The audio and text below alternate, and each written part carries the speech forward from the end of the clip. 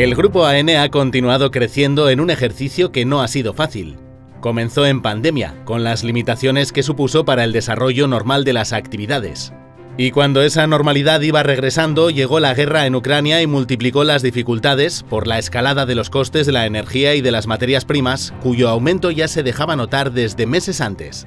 A pesar de todas las complicaciones, el grupo AN ha seguido creciendo y mejorando gracias a la colaboración y a la innovación y ha completado un ejercicio, el 2021-2022, que ha destacado por motivos tan buenos como estos.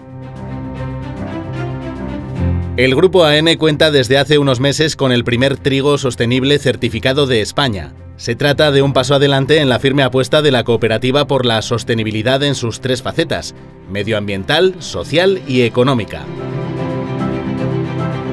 Un importante logro que se suma a la realización de mejoras en las condiciones de almacenaje y tratamiento de los cereales, algunas de ellas realizadas gracias al impulso que otorga el ser una entidad asociativa prioritaria. Así, una nueva nave amplía la capacidad de las instalaciones de la localidad leonesa de Valencia de Don Juan. También en los arcos, Navarra han continuado implementándose mejoras en los almacenes para una óptima conservación del grano.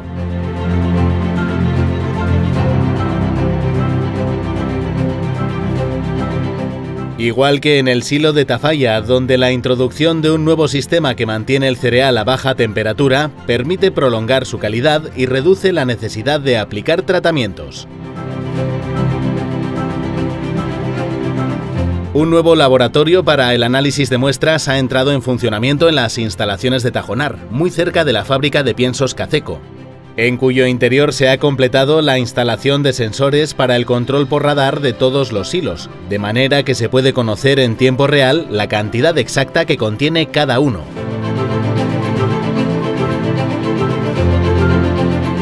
Además, la introducción de una nueva máquina migajadora optimiza el proceso para partir el gránulo en diferentes tamaños en función de las distintas necesidades de alimentación de los pollos. La calidad se logra optimizando los procesos y esto incluye el refuerzo de la seguridad en las instalaciones para evitar sobresaltos. El novedoso sistema antiincendios colocado en la incubadora de Marcilla garantiza la rápida respuesta y la mínima afección en caso de que se declare un fuego. Al mismo tiempo, se han emprendido mejoras en el proceso de gestión de los residuos de la incubadora. También dentro de la sección avícola se ha introducido una nueva maquinaria para el deshuesado en el Centro de Procesamiento Avícola de Mélida. En un ejercicio difícil, especialmente para la actividad industrial por el fuerte incremento de los costes, se han seguido emprendiendo mejoras en los distintos centros. Una nueva máquina desrabadora en la fábrica de conservas Danza, en Andosilla, realiza un corte más limpio en los pimientos, evitando que el producto se rasgue y optimizando un proceso que hasta ahora era manual. La marca de conservas ha comenzado en el ejercicio a trabajar una nueva referencia, el prestigioso pimiento del cristal. La adquisición de nuevos equipos e instalaciones a lo largo del ejercicio permite mejorar los diferentes procesos productivos, maquinaria para facilitar las labores en el campo e instalaciones para un mejor desarrollo de la actividad, como es el caso de la nueva nave de Hacienda Belabarce en Tudela. Además de oficinas y espacio para los vehículos agrícolas, tiene una máquina plegadora que sirve para mejorar los procesos.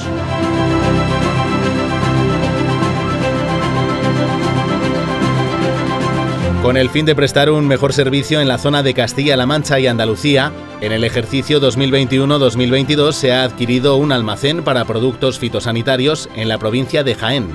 Ubicado en la localidad de Bedmar, incluye también oficina y tienda y entra en funcionamiento en el ejercicio actual.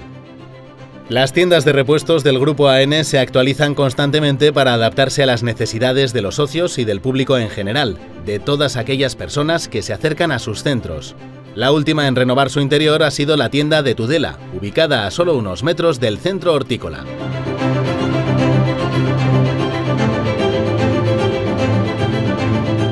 Cinco nuevas instalaciones se han sumado a lo largo del ejercicio a la red de estaciones de servicio de AN Energéticos, una en Navarra, otra en Valladolid, una en Huesca y dos más en Zaragoza.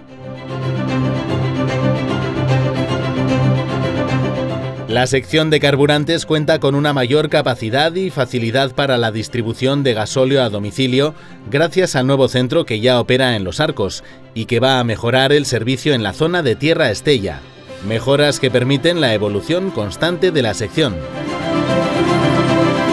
Como ocurre con la Correduría de Seguros, que en el año en el que celebra su 25 aniversario ha logrado un nuevo máximo de pólizas intermediadas, en un periodo marcado por la intensidad y la virulencia de los fenómenos meteorológicos adversos. En el ejercicio del Grupo AN hay un hito relevante más, la construcción de una fábrica en Caparroso concebida para una nueva línea de negocio de harinas vegetales, al tiempo que se aporta valor añadido a cultivos de las cooperativas socias como los guisantes y las habas.